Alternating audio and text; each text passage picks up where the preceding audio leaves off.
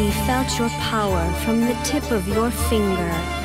The power of destiny that will cast a light on the darkness. We are spirits. Your kind has called us by many names.